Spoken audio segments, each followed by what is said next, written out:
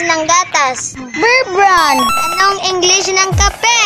Pupiko. Anong English ng shampoo? Sunsilk. Anong English ng motor? Honda. Anong English ng cellphone? iPhone. Hoy! Hoy ka din! Mukha kang butete! Mukha kang kabayo! Baboy! Oink oink!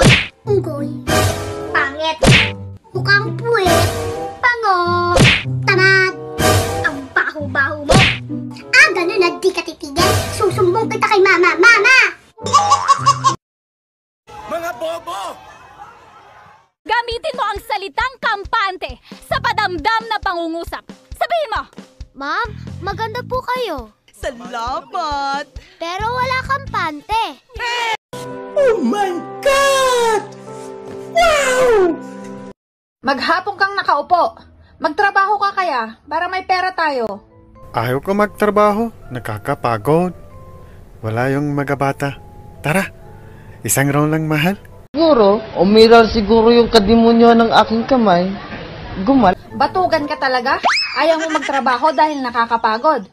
Pero sa hindutan, hindi ka pagod. Mag-isa mo. Papoy, hindi na kita bate, ah. Ha?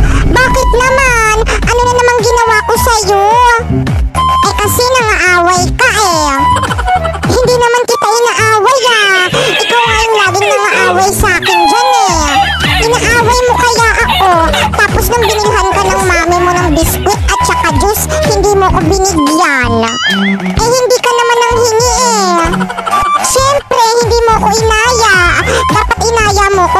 humingi ako.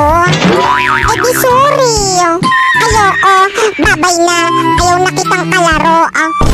Oh, sige. Hmm?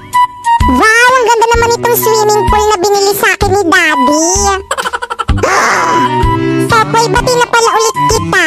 Basta pa swimming ako dyan sa may swimming pool mo, ah. Gagoy! Nonoy, bagay ba? Damit ko yan ah! Bakit may susuot? Ito naman ang damot-damot. Heheramin ko lang naman. Paano masabi? Bigay sa akin ng ninang ko yan. Huwag mo isuot. tanggalin mo yan, tanggalin mo yan. Hindi ko naman sisirain eh. Heheramin lang, heheramin lang. Ah, basta, basta. Tanggalin mo yan, tanggalin mo yan. Gunggong! Barinig kita sa mukha eh! Ba, Dudong, ang dami mo namang pera.